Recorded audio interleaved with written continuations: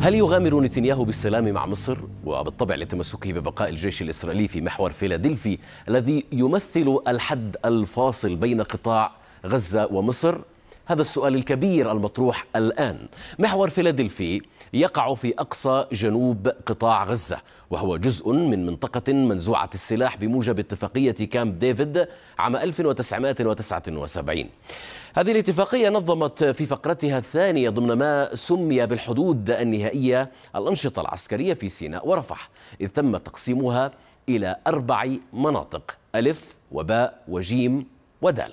وقضت المعاهدة في نصها الأساسي بأن تقام ترتيبات أمن متفق عليها بما في ذلك مناطق محدودة التسليح في الأراضي المصرية أو الإسرائيلية وقوات تابعة للأمم المتحدة.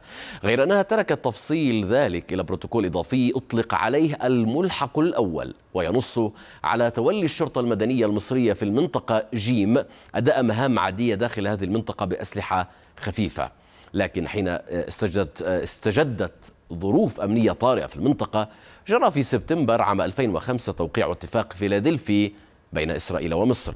هذا الاتفاق مشاهدينا تضمن نشر قوات مصرية على الحدود الفاصلة مع قطاع غزة وتقدر تلك القوات بنحو 750 جنديا من حرس الحدود المصري ومهمتهم هناك بحسب نص الاتفاق تتمحور تتمحور في منع تسلل العناصر المسلحة عبر الحدود ومكافحة التهريب والكشف عن الأنفاق أيضا.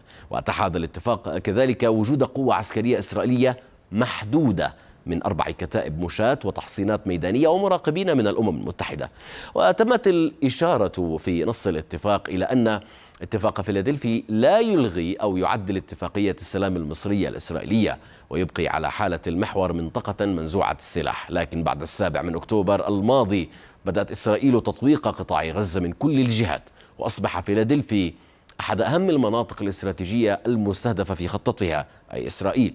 وأعلن رئيس الوزراء نتنياهو في مناسبات عدة ضرورة أن يكون المحور تحت سيطرة إسرائيل وأنه لن لن ينهي الحرب في غزة دون سد الثغرة في محور فيلادلفي. إسرائيل تطالب بالسيطرة على المنطقة الحدودية في المرحلة الأولى من الاتفاق طبقا لملحق كامب ديفيد عندما كانت تحتل إسرائيل قطاع غزة بالكامل.